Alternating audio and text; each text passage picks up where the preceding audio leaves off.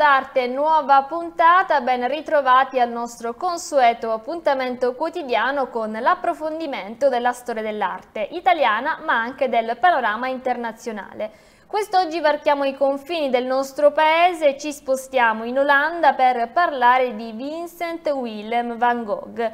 Nato a Zundert il 30 marzo del 1853 e morto ad Auvers-sur-Oise il 29 luglio del 1890.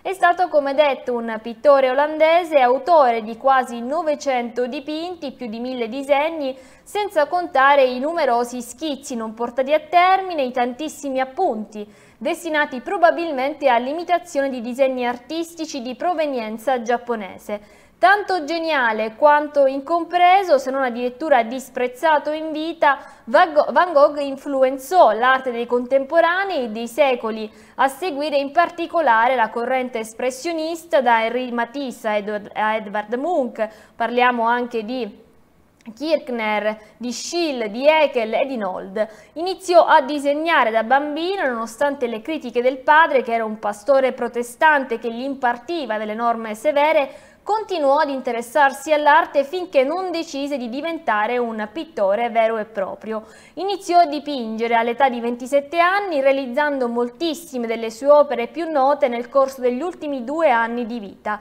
I suoi soggetti spaziavano in vari ambiti, consistevano in autoritratti, in paesaggi, in nature morte di fiori, in dipinti con cipressi, in rappresentazioni di campi di grano e girasoli. La sua formazione comunque si deve all'esempio del realismo paesaggistico dei pittori di Barbizon e del messaggio etico e sociale di Jean-François Millet. Dopo diversi anni di sofferenze, patendo anche di frequenti disturbi mentali, morì in circostanze misteriose alla sola età di 37 anni nel 1890. In ogni caso la fama artistica delle sue opere verrà riconosciuta soltanto dopo la sua morte. L'opera che abbiamo scelto quest'oggi di approfondire insieme a voi è Campo di grano con cipressi. Parliamo di una delle opere dipinte durante, durante il suo ultimo anno di vita, quindi siamo nel 1889 e si tratta di un olio su tela che misura 73 x 93,4 cm. Attualmente si trova esposto al Metropolitan Museum di New York.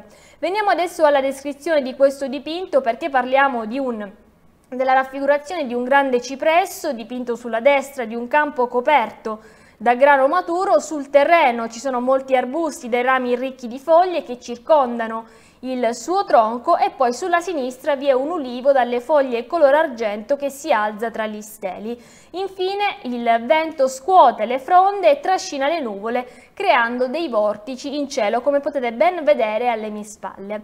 Dalle conversazioni epistolari tra l'artista e il fratello Teo furono intense e frequenti, come sappiamo, e il pittore era molto legato al fratello con il quale poteva soprattutto parlare di arte, raccontare le sue giornate, le relazioni che stringeva con gli abitanti dei luoghi dove si trovava. Ecco, secondo il giudizio di Van Gogh, il dipinto che ora si trova alla National Gallery è il migliore tra quelli realizzati in quel periodo.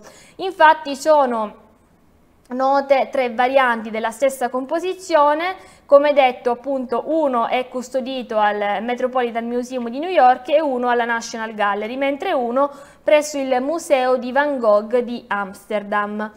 Ovviamente quello che c'è da dire è che ehm, questo eh, dipinto è stato realizzato quando lui aveva all'incirca 36 anni, ricordiamo che è morto in circostanze eh, sospette all'età di 37, quindi un anno dopo, e lui rimase per un anno presso l'ospedale di Saint-Rémy, ricoverato a causa del suo malessere psicologico. Ecco, durante questo soggiorno Van Gogh, a partire da giugno del 1889, continuò a dipingere le le scene, ciò che vedeva della campagna provenzale circostante. Gli alberi che più attiravano la sua attenzione erano proprio gli ulivi e i cipressi.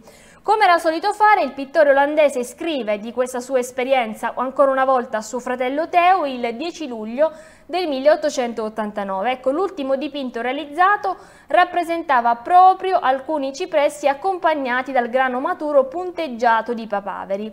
La scena è coronata da un cielo intensamente azzurro e qui Vincent con queste parole descrive quest'opera al fratello. O una tela di cipressi con qualche spiga di grano, papaveri, il cielo azzurro che come un plaid scozzese di tanti colori è impastato come un Monticelli. Sono queste le parole che utilizza Van Gogh per ehm, spiegare questa sua opera al fratello, per fargliela immaginare mentre si trova appunto in ospedale ricoverato. Ecco, questo paesaggio mostra dunque lo stile tipico dell'ultimo periodo dell'artista, infatti il cielo è costituito con ampie pennellate materiche con andamento a spirale, gli stessi vortici aerei, la figura del cipresto fiammeggiante si ritrovano anche in un'altra opera che abbiamo già analizzato insieme che è Notte stellata e tratti più brevi invece creano il tessuto delle chiome degli alberi, del grano e la linea delle montagne invece è segnata con una pennellata spessa e continua che ne rafforza il profilo contro il cielo.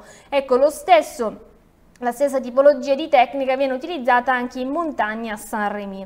Come detto è un impasto di colori ad olio applicati su tela e in questo paesaggio colorato con colori saturi e brillanti emerge proprio il centro del colore giallo del campo di grano maturo, in primo piano a destra vi è una macchia di vegetazione di colore verde chiaro come la fascia che costeggia il campo in secondo piano e invece come di consueto nei dipinti di Van Gogh la chioma del cipresso è di un colore verde molto scuro, mentre il cielo è occupato da, quasi interamente da cumuli di nuvole dipinte a tratti di azzurro, celeste e blu che si alternano.